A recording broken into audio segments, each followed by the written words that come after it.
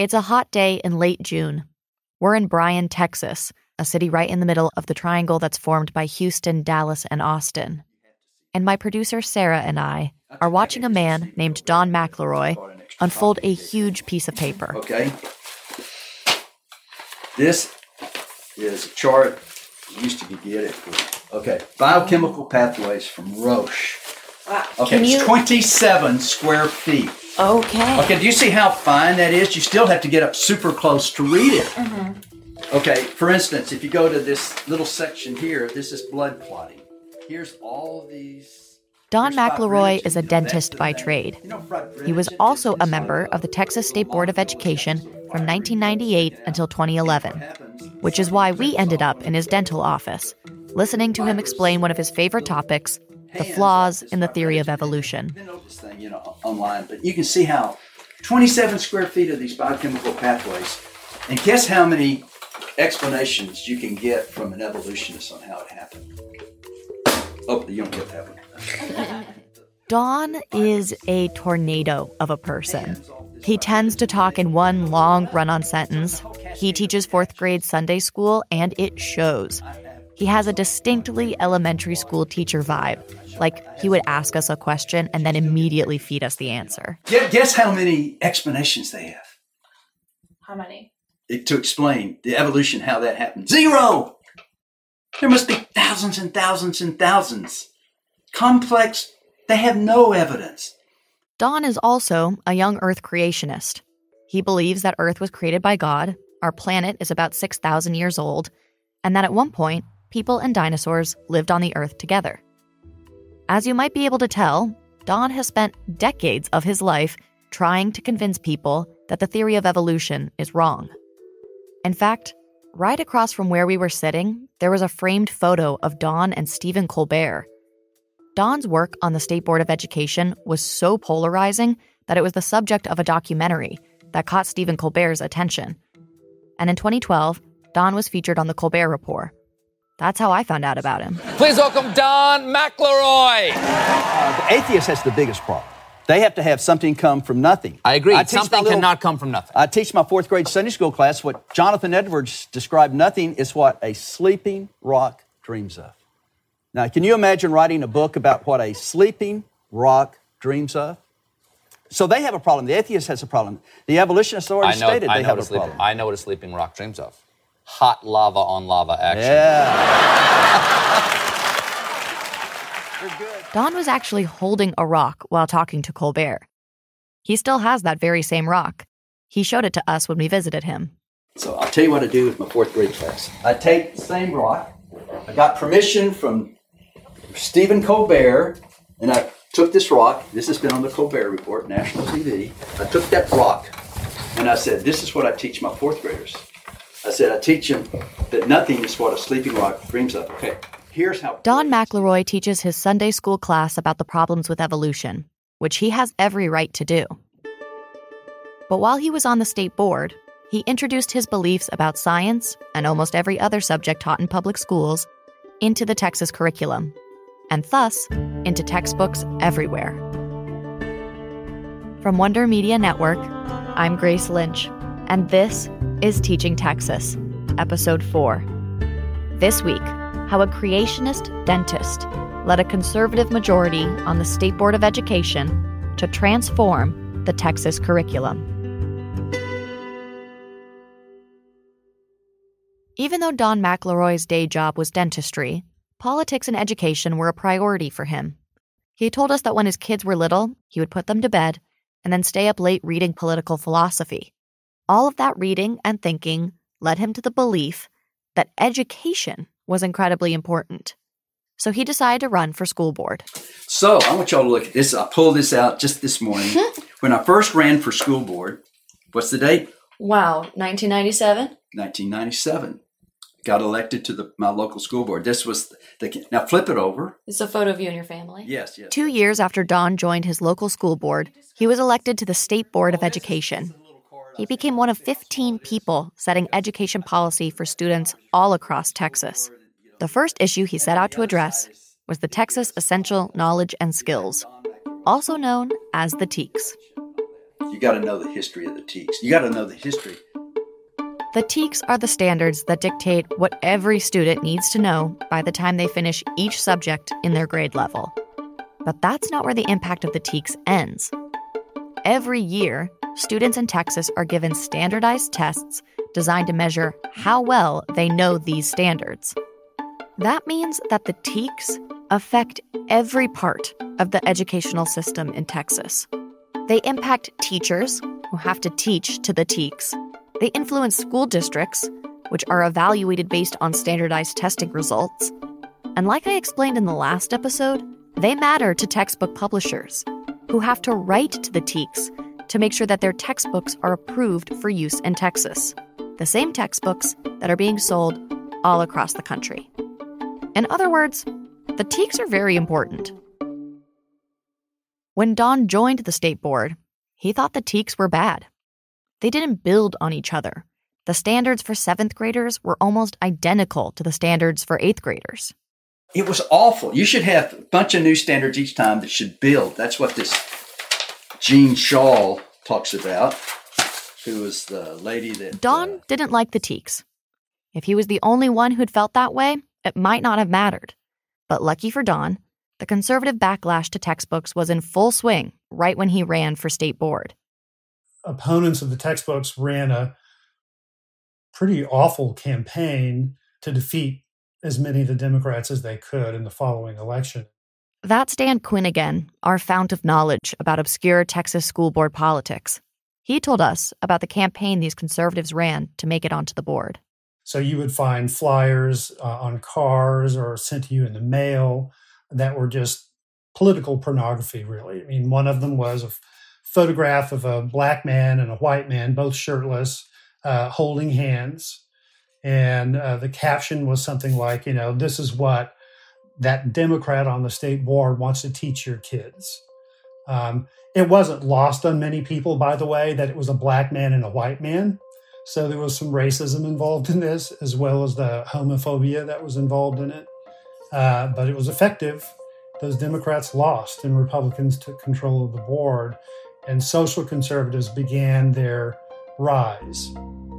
By the time Don was elected to the board, he was joining a sizable block of conservative politicians.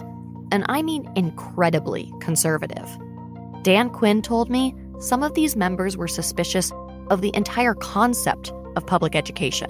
One of them, in 2008, published a book in which she called public education the tool of perversion and said that parents who send their kids to public schools were throwing their kids into the flames of hell.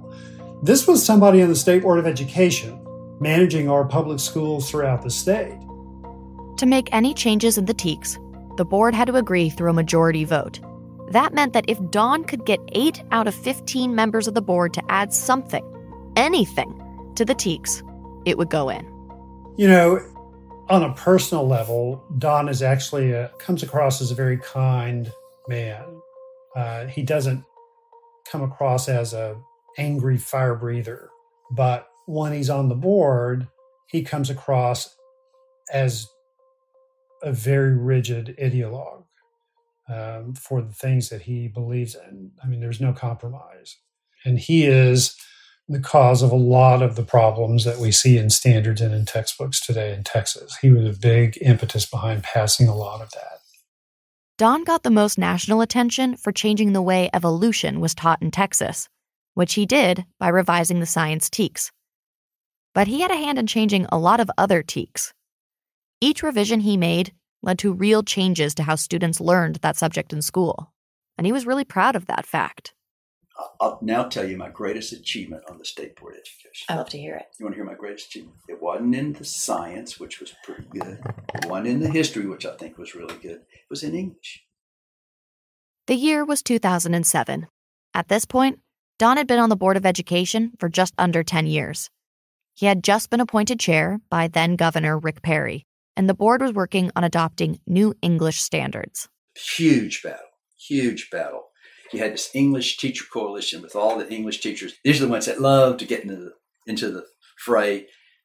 There's there's two groups of teachers. This is the one that uh, thought they had knew everything there was about English standards, and so they had their their way.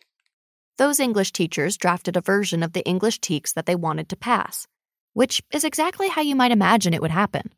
The teachers are the ones with experience and pedagogical background. They really seem like the folks who should have a strong say in the situation. However, Don did not like their way. There was one line in particular he wanted gone compare themes in similar texts. So Don wrote a replacement. Identify moral lessons as themes in well known fables, stories, legends, and myths. Don's standard passes. It was one line Identify moral lessons as themes in well known fables, stories, legends, and myths. 13 words. But that line meant that textbook publishers had to add new stories to their books. So, one of the greatest things that happened after that was uh, a year or so later, we get the textbooks written on the standards.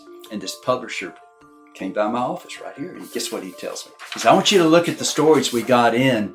The new textbooks had stories like The Boy Who Cried Wolf, Jack and the Beanstalk, and Cinderella. That was the publisher's interpretation of what Don meant when he said well known stories.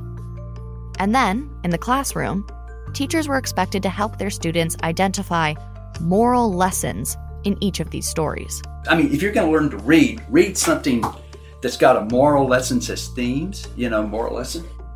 Instead of kids learning how to analyze literature by comparing and contrasting stories, the focus became on them learning moral lessons from stories that Don thought were important.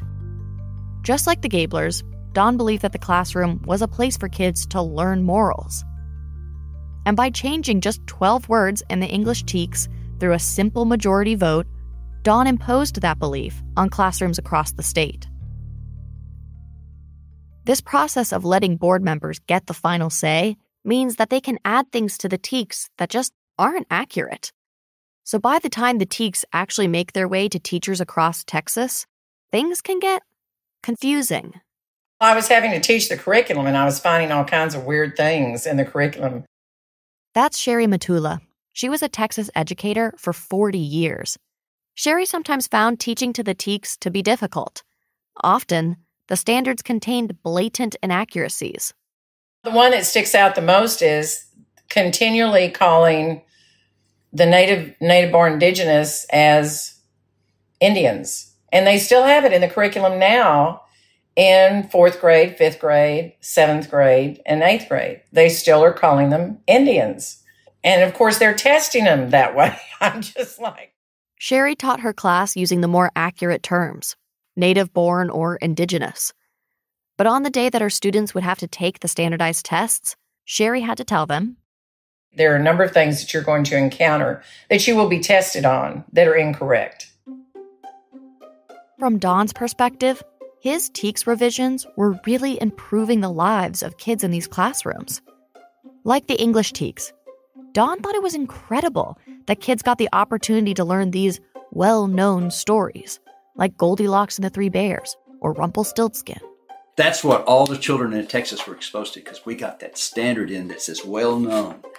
Isn't that exciting? I found that super exciting that these kids are getting. What do I want these kids to be challenged and, and also? Can to, I can I ask you a question Yes. about this though?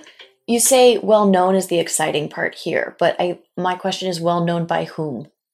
Well, society, us, we all grew up with it. Everybody, everybody knows what well known. You can't find anybody in my generation that didn't get to read these. We read these to our children, and now these children. The disadvantaged kid would never have seen these stories, likely, except for they were in their textbooks. I mean, if you're going to learn to read, read something that's got a moral. I loved. Don's answer to that question. He's clearly never considered that there wasn't a straightforward answer to the question. Because for him, it is obvious. Us, society. He means well known to him and people like him white, middle class, baby boomers, and their children. People who aren't like the disadvantaged kids Don is trying to help. When Don talks about these disadvantaged kids, I think he's talking about kids of color. He's worried that these kids might not know the stories he grew up with. But he's not considering that these kids might have a completely different set of stories that they consider well known, and that those stories are just as valuable. During the two hours we spent with him, Don talked a lot about disadvantaged kids. As a dentist, he worked with a lot of kids who were on Medicaid. That's a big reason he decided to get into education to help those kids. When he talked to us, a big idea he kept coming back to was this concept of imago Dei. That's Latin for image of God. It's a Christian belief that everyone on this planet is created in the image of God. To Don, that means that every single kid is special and unique and important, even and especially the disadvantaged kids that he was trying to help by changing the TEKS standards. The concept of Imago Dei was so foundational to his beliefs that he put it on his campaign manifesto when he first ran for school board. And of course, he read it aloud for us. Bryan is a great town with fine people and outstanding potential. I pledge to work together with the families and schools of Bryan toward the goal of having children who will be successful in life. I will serve on the basis of the following fundamental beliefs. Each, first one, first bullet, each child is special, being created in the image of God, and has the right to be treated fairly and to be challenged with high expectations of academic success. Imago Dei also informed Don's belief in creationism. Every child is special and unique because they are divinely created, in the Creator's image. God had to create everything. Otherwise, we'd all just be nothing more than cells put together in a random formation. I, I ask patients all the time. I still ask patients this all the time. I say, "Do you think you're just a collection of molecules, and we like to enjoy having a conversation?" And nobody says yes. That's what they think. I said, "Well, then why do we teach it to our, our children that they're just, you know, it's it's frankly wrong. You think about all this Fourteenth Amendment and liberty that everybody's supposed to have, right? Well, why don't we have the liberty to teach our children? We don't think it's right, but we don't. But anyway, that, that's beside the point. So, just like with the English TEKS, when it came time to revise the science standards, Don didn't hesitate to change them to suit what he thought was right. That's after a quick break. The day that Richard Nixon gave a speech about his dog, the time that a war broke out over a pig farm, the very first time that a district got gerrymandered. Check out this day in esoteric political history from Radiotopia. Short, fun episodes three times a week with surprising stories from our political past and how they connect to our current moment. It's one of my go to podcasts for something informative, but also out of the box. There's one episode about how Nixon's attempt to revamp the Secret Service uniforms ended up clothing a rural marching band. Trust me, it's worth a listen. Listen to This Day in Esoteric Political History wherever you get your podcasts. Now, back to the show. For decades, evangelical Christians in Texas were on a crusade to water down how evolution was taught, and Dan Quinn had been watching them closely. In the late 80s, Texas began to move towards standards based education like everybody else in the country. And uh, the issue came up of how those standards would address evolution. And the compromise they landed on was students will learn about the strengths and weaknesses of scientific theories. Of course, the only theory they really were caring about was evolution. Well, when that passed, creationist groups around the country latched onto that. That became kind of the way to go in and undermine the teaching of evolution. So if a textbook came up for adoption and they didn't include the so called weaknesses of evolution as defined by creationists, then their textbook had to be rejected, they argued. Students having to learn the strengths and weaknesses of evolution became a huge problem. It meant that in Texas, teachers were required to teach the weaknesses in evolutionary theory, leaving space for discussions about non science based intelligent design. It sort of communicated to them that, oh, there's weaknesses behind this scientific theory for which there's an overwhelming amount of scientific evidence. And that was the big thing that they wanted in there. But over time, it occurred to us really that the big thing was getting that strengths and weaknesses language out. The us that Dan Quinn is referring to are the people at Texas Freedom Network, or TFN. TFN was the same organization that mounted a campaign against Neil Fry's work. At the time, Dan was TFN's spokesperson.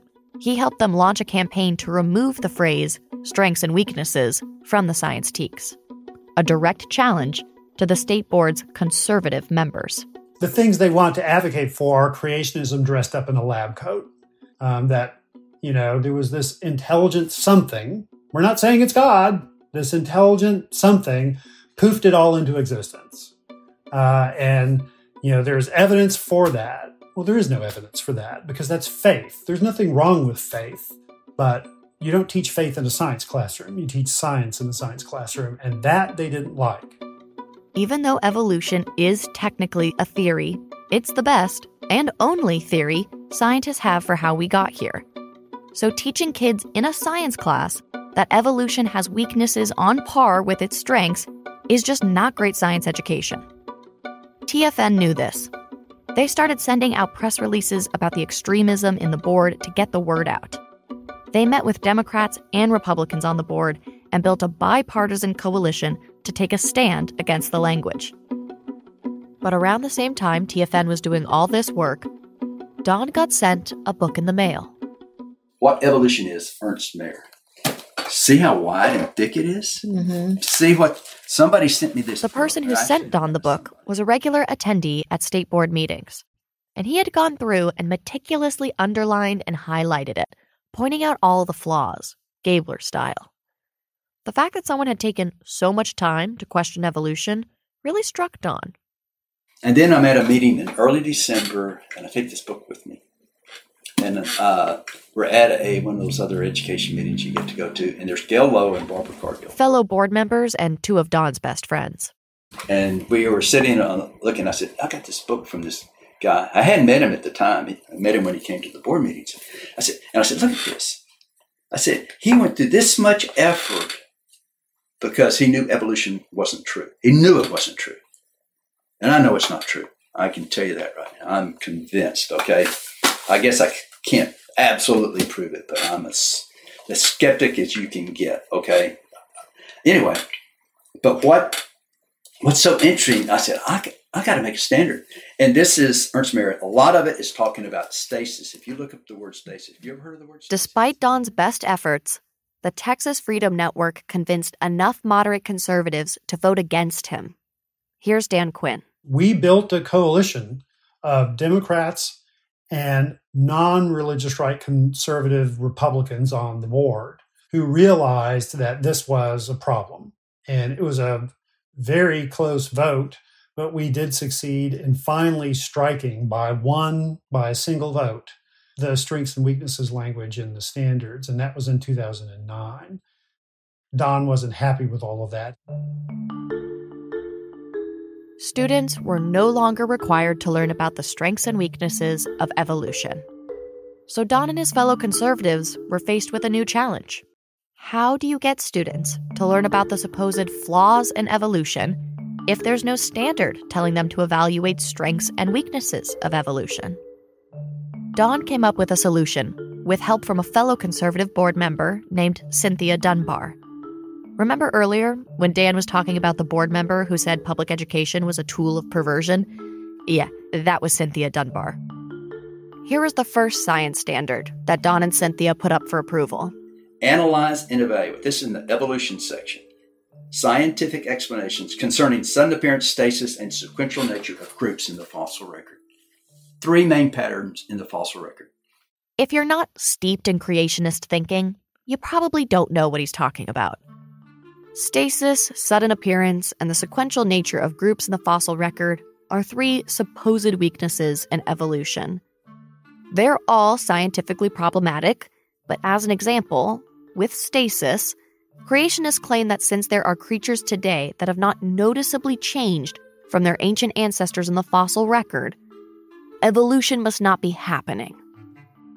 So instead of having students identify the weaknesses of evolutionary theory, Don has them analyze and evaluate stasis, which is a specific weakness he identified.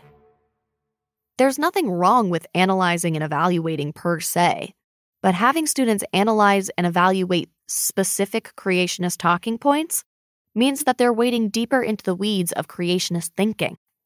It wasn't as broadly damaging as the strengths and weaknesses language, but it wasn't great. Still, the standard passed. The, the people were stunned. It passed. I made my little eloquent speech to, get it, and everybody was shocked. Okay. So I said, mission accomplished. I was so thrilled. So, in the end, even though TFN fought really hard for changes in the standards, the final science TEKS were more of a compromise between TFN and the board's conservative contingent. Dan still considers getting that strengths and weaknesses language out of the standards a huge win. And beyond that, TFN did something else. They succeeded in alerting the general public to what Don was doing on the State Board of Education. I think most people realized they were pretty fringe beliefs. I mean, even Republicans in his district had begun to realize, hmm, this guy's kind of a little bit out there. I mean, he had his own website where he it was a strange thing. He seemed to promote the this heliocentric theory, but while he was on the board, he didn't have to be particularly persuasive to the general public. He only had to be persuasive to the religious right members and one extra Republican on the board, and he could win. And he won a lot. Soon after the science standards fight, the State Board of Education caught the attention of the Texas state legislature State senators on both sides of the aisle were taken aback by how extreme the board had gotten, so they blocked Don from getting renominated as chair. Don didn't let that stop him. He turned to the next battle social studies. TFN hired independent experts to review the social studies standards that Don and the state board passed. One of the experts they hired was David Brockman, the scholar of Christian nationalism you heard from last episode. So it was a real eye opener for me when I looked at the social studies standards because I, I found them to be heavily out of balance, heavily emphasizing Christianity over other religions, and basically providing a kind of one sidedly positive account of Christianity. Unsurprisingly, the same board that wanted kids to learn that a Christian God created the earth in science class also wanted kids to have a positive view of Christianity in social studies class. For example, they decided they wanted to include Moses as one of the people who influenced America's founding documents. The idea was Moses wrote the Ten Commandments, and the Ten Commandments are reflected in the founding documents. That's how Moses gets in there. It's part of the Christian nationalist narrative that the, the Constitution, the founding documents basically, are based on the Bible. And that's what the founders intended. And we've drifted away from that. We've drifted away from, from the Bible, and we need to get back to the, that original intent. There is no evidence that Moses had any influence on the founding documents. In fact, America's founders were fairly explicit that the American government and the American Constitution were not tied to any organized religion. But, of course, that didn't matter to the board. And unlike the science battle, it was really hard to beat Don on social studies. Man, when it came to social studies, it was the death of a thousand cuts. I mean, they just, it was one thing after another that they managed to get through. When it came to science, people on the board were willing to accept that they weren't experts. That wasn't the case for American history. Everybody thinks that what they know about American history is that's factual. But a lot of what we learn outside of schools is kind of myth making in some ways. Uh, it becomes easily politicized. Um, it's used to promote a particular agenda. Um, and I think when it came to the social studies standards, the Republicans that we worked with that voted with us on science reverted to form as Republicans. And it really didn't make any difference how many scholars, how many historians that we brought before the state board to testify that, you know, Moses really wasn't a major influence on the Constitution. Experts and scholars did try to fight back but getting through to the board members was almost impossible. During one state board meeting, a scholar got up and told Pat Hardy, a conservative on the board, you can't keep this standard about Moses. It was a very amiable, friendly back and forth uh, in which the scholar was saying, really, you need to look at this. I don't know how teachers would teach this concept. It's nothing that scholars have looked at in the past. There's no scholarship to look at here. There's no way to to show parts of the Constitution that somehow derived from Moses. I mean, in what ways would you do this? This is really kind of a matter of faith uh, rather than as something that's based on facts. Pat Hardy just finally turned and said, I understand what you're saying. I just disagree. And that was it. With that, she had um, made clear her superiority in knowledge on the topic uh, because by God, it was based on what she had learned when she was younger and had learned and believed all of her life. And it didn't really make any difference what scholars were telling her. It's the same logic as forcing students to identify the morals of well known myths. Don wanted kids to learn the myths that he learned when he was a kid. And in the same way, all the board's conservatives wanted kids in Texas to learn the myths about American history that they had been taught. Many of the board's conservative members were steeped in Christian nationalist thought. That meant that they believed that America's founding was divinely inspired. So to them, all stories about American history should always be grounded in one basic premise that God had a hand in creating America. Believing that God had a hand in creating everything humans, the earth, America is what underpins all of Don's ideas. When we talked to Don, he referenced the first line of the Declaration of Independence as proof that we're a Christian nation. We hold these truths to be self evident that all men are created equal and that they are endowed by their Creator with certain unalienable rights. The secular people, secular people want to argue that we're a secular state. Yes, I'll agree that. Yeah, there's no religious test or anything like that. We're a secular secular state, but we're not founded on secular principles. The secular this says, well, there is no truth, there is no God, and that we just evolved. But our Constitution, I mean, our Declaration, the founding document, the one that got the clock started, the clock started ticking in our country, asserts there's truth, that we're created, and there's a creator. Those are biblical principles.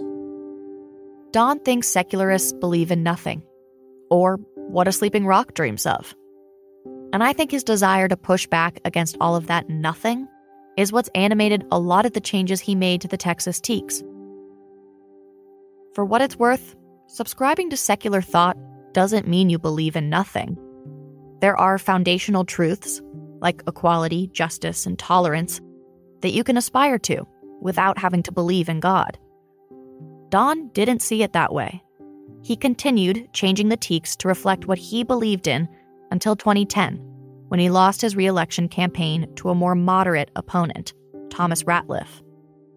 Even after he lost, Don kept attending board meetings, this time as a private citizen, getting up to make public comment about the TEKS. Say what you will about Don, but it's clear he genuinely cares about public education and the people who are involved in shaping it, whether those people are with him or against him. I, I, I've never burned a bridge with anybody, and I'm not about to. Okay, I like these guys.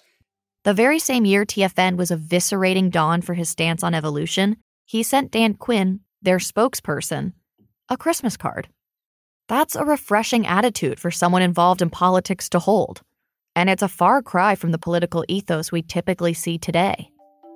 Right now, it's not uncommon for school board meetings to feature shouting parents all demanding that their kids stop learning critical race theory. Even though these parents aren't as neighborly or cheerful as Don, their ideologies can be traced right back to the same set of Christian nationalist beliefs. And things like structural racism are hard to square with the idea of a divinely founded nation. It's undeniable that slavery and racism were bound up with the founding. And I think the Christian nationalism doesn't often come up explicitly in the CRT debate, but I think part of the revulsion on the part of um, anti CRT people to these ideas is that it, in a way, it undermines the idea of a divine founding. Critical race theory teaches that the institution of slavery was a fundamental part of America's founding. That is antithetical to Christian nationalist thought. To them, enslavement was a personal sin, a few bad apples in the divine bushel. Naming slavery as a crucial component in the country's origin story makes America itself a sinful nation. And if you're a Christian nationalist and someone tells you that the nation you believe is divinely founded is actually a nation built on sin, you might just find yourself at a school board meeting fighting to keep your beliefs alive. We were told many, many times by the K 12 cartel that uh, CRT wasn't being taught in schools. Um, in fact, we have found that it is being taught in schools. They told us it's a graduate level course. It is a graduate level course, and we believe that it belongs just there in graduate school. Next week on Teaching Texas, how the CRT debate became the new frontier of the education wars.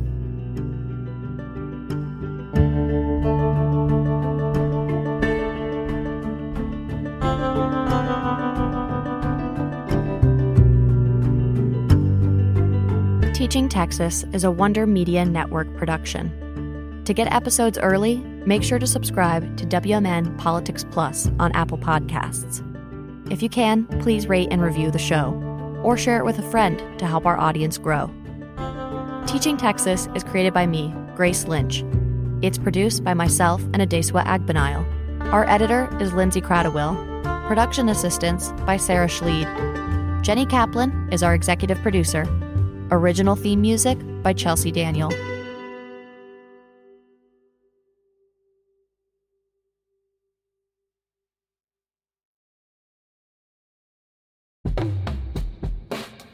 Mindshift is back with season seven. I'm Ki Sung. And I'm Nimah Gobir. We've been cooking up the next season of Mindshift where we keep bringing you the future of learning. This summer, we're talking about EdTech. I would say that these systems are mechanisms of control. Changes that we might see sweeping the nation. The typical pattern has been that it all works out and everyone's happier. And crushes. And then he would have like he would have like high white socks and then would wear shorts. And he had short, spiky hair. The new season of Mindshift starts July 19th.